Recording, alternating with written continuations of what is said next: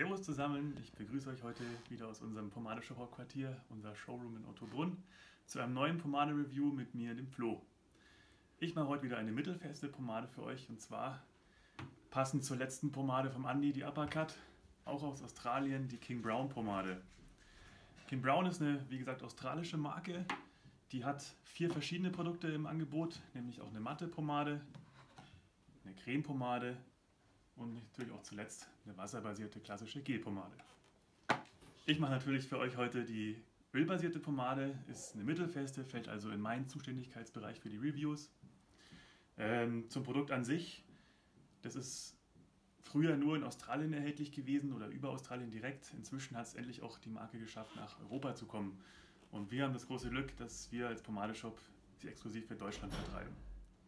Das erste Highlight von diesen Pomaden ist allein schon die Verpackung, weil es gibt ja nur relativ wenige Pomaden, die so eine quadratische Dose haben. Die meisten sind ja rund und deswegen springt die gleich sofort ins Auge. Sieht richtig geil aus. Die Dose ist direkt bedruckt, nicht mit einem aufgeklebten Label. Ähm, besonders geil ist, dass alles hier so leicht erhoben ist, richtig schön geprägt. Der Schriftzug mit der Schlange, mit dem Logo. Also sieht aus wie eine kleine Tabakdose oder dann schon fast eine Lunchbox. Wenn man dann die Dose öffnet, leuchtet einem diese weiße Pomade entgegen. Man sieht schon so, dass die ein bisschen glänzt. Ähm, ich gleich mal dran. Vom Duft her ist es extrem geil. Es riecht richtig schön, ja, süßlich eher, so vielleicht eine leichte Vanillenote ist drin, aber auch so ein bisschen rauchige Kirsche ist rauszuriechen. Äh, ein Kollege hier sagte, die riecht original wie Pfeifentabak. Ähm, also ich finde es einfach nur richtig geil, so ein Mix aus süßlich und rauchig. Genau dann werde ich es euch gleich mal zeigen. Meine Haare sind jetzt schon leicht feucht. Ich habe mir gerade noch eine wasserbasierte Pomade ausgewaschen, weil ich heute Morgen nicht umgestylt aus dem Haus gehen wollte. Aber jetzt kann ich mir schön mit der King Brown einmal eine klassische nachschmieren. So zum, zur Festigkeit, wie gesagt mittelfest, also geht super easy raus. Ich nehme mal den ersten kräftigen Finger voll, da werden sicherlich noch ein paar Finger folgen.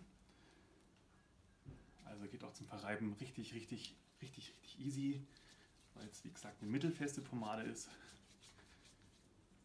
Ist super schön geschmeidig, bisschen klebrig, aber schon sieht man nichts mehr. Und dann werde ich es mir mal in die Haare einarbeiten. Ja, also das geht, wie man es von der Mittel, mittelfesten Pomade einfach gewohnt ist, ganz, ganz easy, super geschmeidig. So, das ist der erste Finger, den ich nachnehme. Dasselbe nochmal. Ja wirklich alle Haare von oben bis unten benetzt haben, um den besten Styling-Effekt rauszuholen und mir meine Haare schön hinzulegen und Volumen zu geben. Ja, jetzt sind wir schon fast, fast in der richtigen Menge, aber ein Finger muss natürlich noch sein. Zu viel Pomade geht nicht. Also noch ein drittes Mal. Schön von oben bis unten alles durch, schön verreiben, dass keine Körnchen oder Schlieren mehr in den Haaren zu sehen sind, wobei das bei der Pomade wirklich eigentlich kein Problem ist. Die lässt sich wunderbar verarbeiten. So. Gut, dann habe ich es mit der Dosierung fürs Erste. Ich nehme meinen Kamm zur Hand, ich benutze heute den Hercules Segelmann Griffkamm. Den mache ich besonders gerne, weil er schön stabil ist. Der hat eine schöne, gute Stärke und einen schönen Griff. Da kann man richtig gut durch die Haare durchkämmen, ohne viel Kraft aufzuwenden. Was jetzt allerdings bei der King Brown eh nicht vonnöten ist, das ist dann vor allem für feste Pomaden sehr vorteilhaft. So, das Durchkämmen, mal super easy. Obwohl ich eine gute Menge Pomade natürlich jetzt drin habe, lässt sich das ganz, ganz einfach durchkämmen. Also ich kann es mir prima nach hinten legen.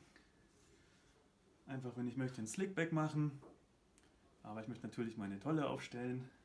Also den Scheitel natürlich schön abtrennen, hinten legen. Dann hinten festhalten und einfach oben nach vorne ziehen. Ein bisschen Volumen reinmachen, ein bisschen auftopieren. Die Haare, die hier zur Seite wegstehen, die kann man dann einfach wieder nach hinten legen. So.